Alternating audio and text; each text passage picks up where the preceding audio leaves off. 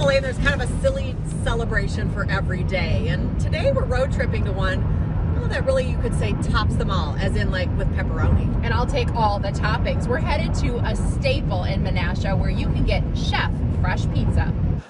My name is Scott Doran. Uh, welcome to Chef Fresh Pizza. We've been around since 1969. Basically, we're uh, a take and bake uh, pizza shop. We do offer uh, some grab and go, like we have Darn Good Chili, which is my chili. I'm a competitive chili uh, enthusiast.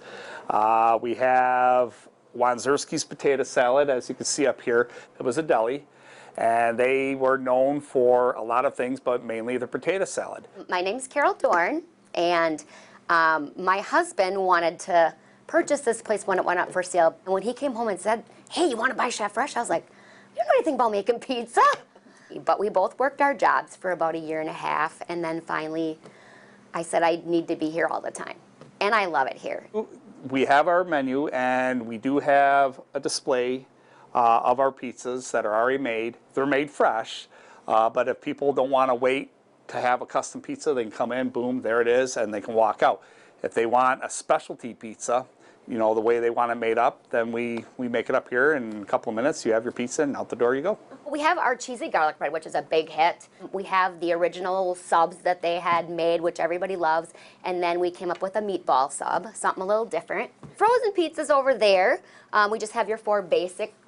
You know, it works out really good for grandmas and grandpas come a lot, so they have them for their kids, or people in the summer like to take them up north. We contacted some of the old, old owners back in the 60s and early 70s, and we actually got the original recipe.